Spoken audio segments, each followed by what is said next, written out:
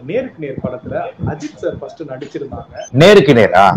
அந்த படத்துல நீங்களும் நடிச்சிருந்தீங்க. ஃபர்ஸ்ட் அஜித் சார் நடிச்சிருந்தாங்க அப்புறம் வேற நடிகர் மாறினாங்க அப்படின்னு சொல்றாங்க. அந்த உண்மை என்ன சார் ஆமா ஆமா.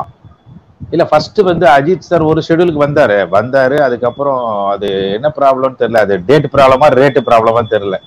எப்பவுமே பிரச்சனை ரெண்டு ப்ராப்ளம் தான் இருக்கும். ஒன்னு டேட் இல்ல ரேட்டு தான்.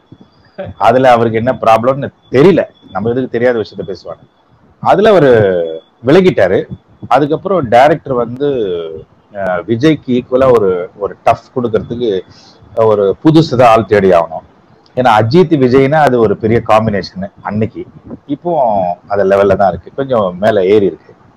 அப்போ வந்து பார்க்கும்போது யாரை போலாம் ரொம்ப பரந்த முகமா இருக்கணும் அழகா இருக்கணும் அப்படின்னு சரவணனை செலக்ட் பண்ணாங்க சரவணன் தான் சூர்யா. சூரிய. அப்போ வந்து வந்த உடனே ரொம்ப கஷ்டப்படல ஆக்டிங்கே வரல. அதாவது கஷ்டப்படுவாப்புல. டான்ஸுக்கு ரொம்ப கஷ்டம். ஏன்னா ரெடி ஆகலை. மனுஷன் பாவம். திடீர்னு சிவகுமார் சார் சார்னு கூப்பிட்டு வந்துட்டாங்க. அவர் ரெடி ஆகலை போல் இருக்கு. வந்து ரொம்ப கஷ்டப்படுவோம் மனுஷன் டைலாக் வராது.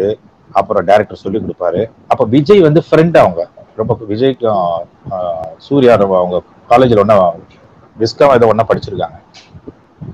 விஜய் ஹெல்ப் பண்ணாப்புல.